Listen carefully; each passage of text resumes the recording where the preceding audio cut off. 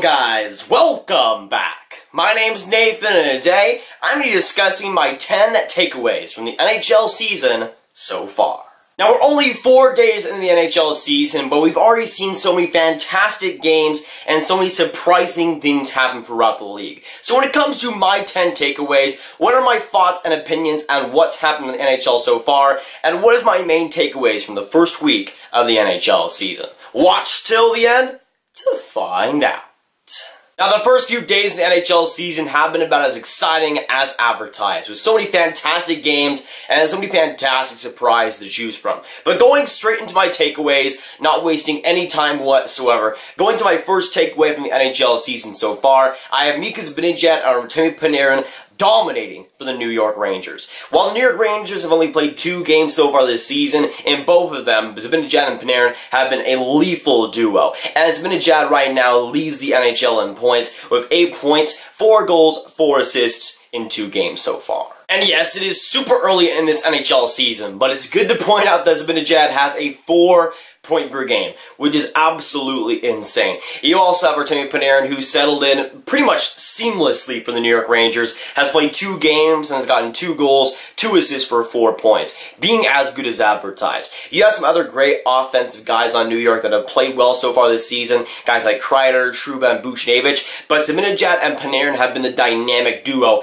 and are pretty much the main reason why New York is 2-0 to start out this season. Now going on to my second takeaway for the NHL season so far, now dialing into the Toronto Maple Leafs and Auston Matthews being an early Rocket Richard contender. Now Auston Matthews and the Toronto Maple Leafs, like they have been in the past few years, has been gunning off to a fantastic offensive start. Auston Matthews being healthy and ready to go also helps, but he's had a fantastic season in three games so far. In three games, he's gotten five points, but all five of those points have been goals, and right now he's leading the NHL in goals. Now, it's good to note that a lot of other teams haven't played three games so far this season, but even with that, it is super impressive what he's done. He's He's just been absolutely magnificent. He's been waiting for his opportunities too. That's the thing, because he isn't shooting too much in bad opportunities. But the opportunities he does get, he's been scoring on. And of course, one of the best shots, if not the best shot in the NHL, Matthews has been capitalizing on it. Now, initially, I didn't really have Auston Matthews in my top three Rocket Richard contenders, and one of the main reasons because of that was I thought all the drama in the offseason might distract him from getting that top gear this NHL season. But so far in three games, Auston Matthews has proved me wrong so far, and has again led the NHL in goals. And the big thing here is if he can stay healthy, which he has been able to do in the past couple of years, I think he could totally finish top five, maybe even top three in the Rocket Richard race. But that is a big if right now. He always gets off this fantastic Octobers and then gets injured in like December or something and can't play the full games. But if he plays healthy and keeps going like this, he should have no problem right now winning the Rocket Richard Trophy. Now, advancing on to my third takeaway so far this NHL season, now going on to the Vancouver Canucks, and them so far proving me right. Now, we are two games in the season, so take this with a grain of salt. But the Vancouver Canucks right now are 0 and 2 and are kind of proving me right when I said they weren't a playoff team. I can totally see why you would think that because they have some fantastic talent there. But I don't really buy them as a playoff team, at least not yet. I saw them as a team that could make the playoffs maybe in the year after this one, but not yet. And so far, the Vancouver Canucks have looked like anything but a playoff team. Offensively, it's been super dry. The defense has been rough. The goaltending has been really only the good spot for Vancouver, and even then, it hasn't all been that great. Now getting into my fourth takeaway from the NHL season so far, now getting into the Anaheim Ducks and their fantastic, dominant two games. Now the Anaheim Ducks have been great so far, and watching them has been purely a treat. They first won versus the Arizona Coyotes 2-1 at home, and then won versus the Sharks 3-1. And the Sharks and Coyotes, I think, are both playoff teams in the Pacific Division, and Anaheim made it look like mincemeat. And while those games were close, yes, it wasn't all that competitive and Anaheim pretty much had those games locked down. Especially when it comes to the overall play for Anaheim, they've impressed me quite a bit. I didn't think they'd be a playoff team, but I thought they would be pretty good. But even right now, they're proving me wrong. Now, getting into my fifth takeaway from the NHL season so far, Now getting into the Buffalo Sabres and their surprising start this season, mostly because the young players who have stepped up big time. Now the Buffalo Sabres have gotten off to a 2-0 start, have been absolutely amazing, and it's not like there's been close wins either. This have been dominant wins, back to back. And I'm not saying that Buffalo's going to automatically make the playoffs, because again, last year they won 10 games straight, but right now it's looking pretty good for the Buffalo Sabres, and especially the youth has been absolutely fantastic for them, even better than I expected. Now, looking at their top scorers right now, it's easy to see why Buffalo has been so good. Starting with their number one guy points-wise being Rasmus Dahlin, their defenseman, with one goal, three assists for four points in two games so far. Then it goes Victor Olofsson, the rookie for Buffalo, who's played two games, gotten two goals, one assist for three points. Then Sam Reinhart, Jack Eichel, Conor Sheary, who's fantastic, Jeff Skinner, and Casey Mittelstadt, who right now has two assists in two games. And you can see the amazing youth that Buffalo has. They have some great top-end talent, yes, but the youth is what's really leading them. Now, going into a little bit of a more somber takeaway, we're going to get into my sixth takeaway of the season, that on the New Jersey Devils, and oh, oh my gosh, oh boy. Devils fans, I'm sorry for talking about it, but you know, I, I just had to. the New Jersey Devils are off to a 0 and 2 start, and it's been a very nightmare type season for them so far. Now again, you got 80 more games to play, but it's not looking too good for them right now. In their first game, they had a 4 to 0 lead versus the Winnipeg Jets, and lost 5 to 4 in a shootout versus the Jets. Then they go to their next game versus the Buffalo Sabres and lose 7 to 2.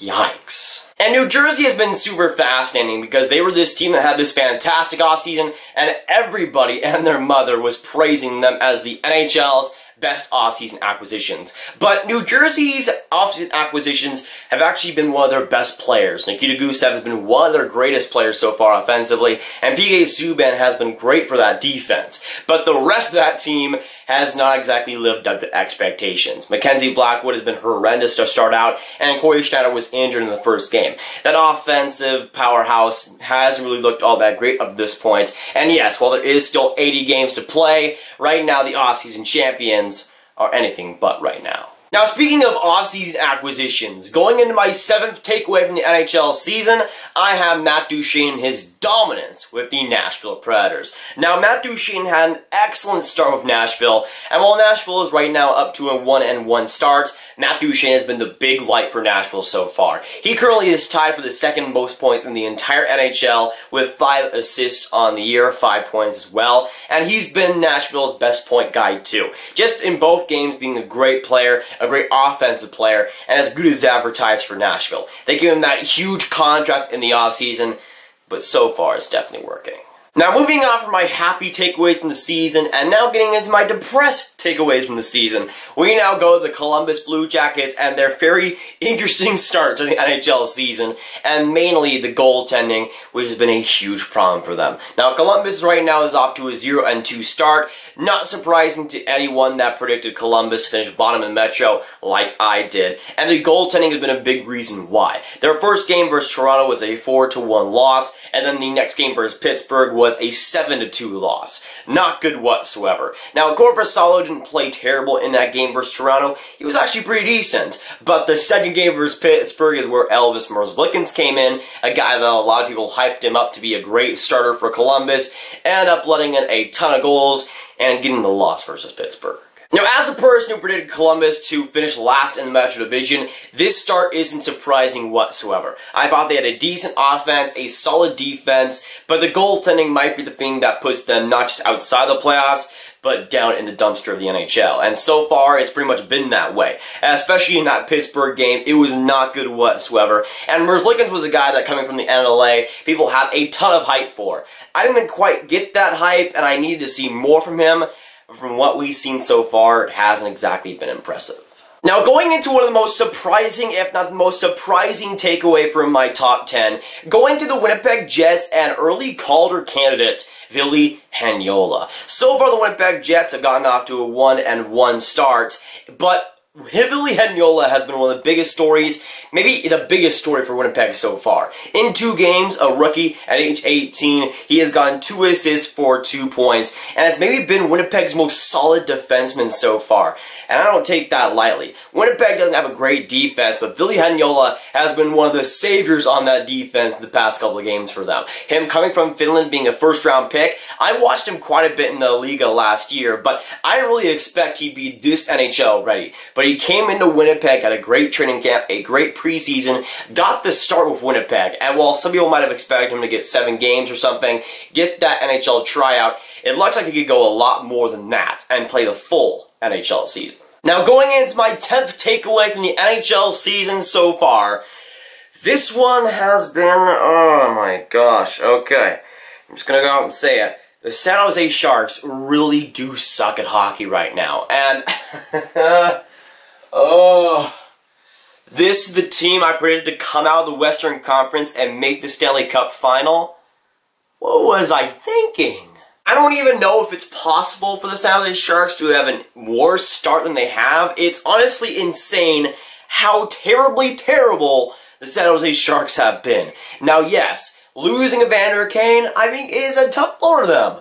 But they shouldn't be losing three straight games to start the NHL season. In any way possible, there is no excuse for that. Yes, they pl did play Vegas two games, but those games weren't even close, man. The first game was 4-1 Vegas, the second game was 5-1 Vegas, and then they go into Anaheim, a team that, again, is at a great start, as we said in this video, but lost 3-1 and barely had any competition in that game either. It was bad in each three games, and right now it isn't looking better whatsoever. And just in every facet of the game, San Jose has been terrible in. The defense has been horrendously bad. The offense has been nowhere to be seen. And Martin Jones, a guy who I thought would rebound quite well this season, has done anything but do that. It's just been a disaster of a start for the San Jose Sharks. I don't want to say it's over or they can't come back from this because the San Jose Sharks have come from much worse in the past. But this isn't a good start whatsoever for a team that a lot of people said was on the cusp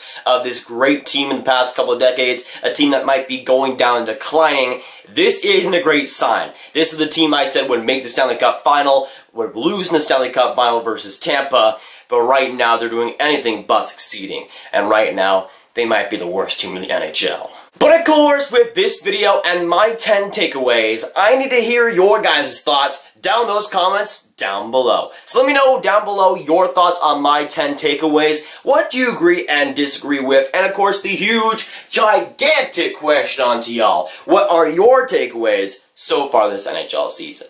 But, if you guys want some more Grav videos just like this one, you should click on this card right here to watch my full playlist on all of my NHL predictions, all throughout the years. You'll see all the bad takes, all the correct opinions, and everything. Trust me, get some popcorn, because you'll want to watch it.